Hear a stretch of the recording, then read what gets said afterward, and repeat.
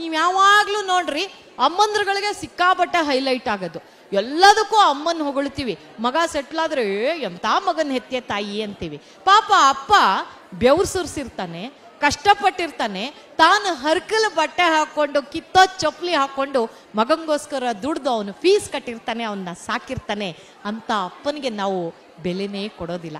ಕಡೆ ಪಕ್ಷ, ಇವತ್ತು ಫಾದರ್ಸ್ ಡೇ ಹೆಸರಲ್ಲಾದ್ರೂ ಅಪ್ಪನ ಒಂದು ನಿಜವಾದ ಜವಾಬ್ದಾರಿ ಅಪ್ಪ ನಿರ್ವಹಿಸಿದ ಪಾತ್ರಕ್ಕೆ ನಾವು ಹ್ಯಾಟ್ಸ್ ಆಫ್ ಹೇಳಿದ್ರೆ ನಿಜವಾಗಿ ಸಾರ್ಥಕ ಆಗುತ್ತೆ ಅಂತ ನನಗನ್ಸುತ್ತೆ. ಒಂದೇ ಒಂದು ಕ್ಷಣ ರಿವೈಂಡ್ ಮಾಡ್ಕೊಂಡು ಯೋಚನೆ ಮಾಡಿ.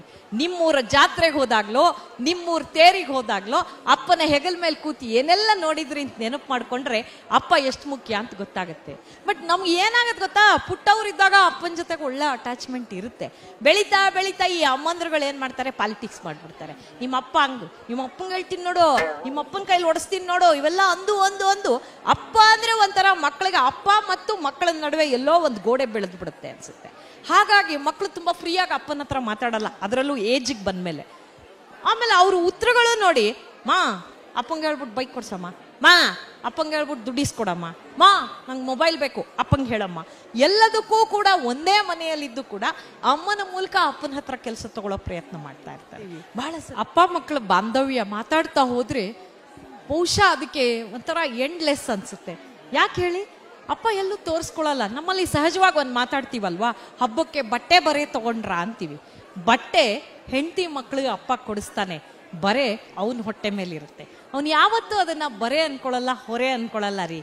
ಇದೇ ಅಪ್ಪನ ವಿಶೇಷ ಅನ್ಸುತ್ತೆ. ತಂದೆ ತಾಯಿಗಳ ಬಗ್ಗೆ ಮಕ್ಕಳಿಗೆ ಇರಬೇಕಾದಂಥ ಆತ್ಮವಿಶ್ವಾಸ ಏನು ಅಂತ. ಒಂದು ಸಣ್ಣ ಮಗುನ್ ನೋಡಿ ಮೇಲೆ ಎಸ್ತು, ನಾವು ಪುಟ್ ಅಂತ ಕ್ಯಾಚ್ ಹಿಡಿತೀವಿ. ಪುಟ್ಟ ನಿನ್ನ ಕ್ಯಾಚ್ ಹಿಡಿತಾ ಇದ್ದೀನಿ ಅಂದಾಗ ಮಗು ಗಾಬರಿ ಆಗಲ್ಲ. ಯಾಕಂದ್ರೆ ಮಗುನಲ್ಲಂತ ವಿಶ್ವಾಸ ಇರುತ್ತೆ.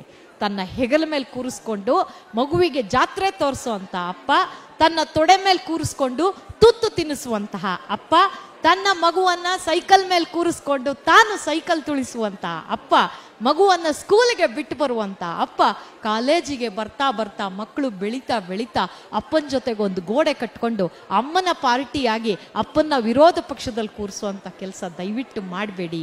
ನಿಮ್ಮ ಅಪ್ಪನಿಗೆ ಪ್ರೀತಿಯಿಂದ, ಅಪ್ಪ ಐ ಲವ್ ಯು ಅಂತ ಒಂದ್ಸಲ ಹೇಳಿ ನೋಡಿ, ಅಪ್ಪನ ಮನಸ್ಸಿಗೆ, ಹೃದಯಕ್ಕೆ ಅದೆಷ್ಟು ಸಂತೋಷ ಆಗುತ್ತೆ ಅನ್ನೋದು ನಿಮಗೆ ಗೊತ್ತಾಗುತ್ತೆ.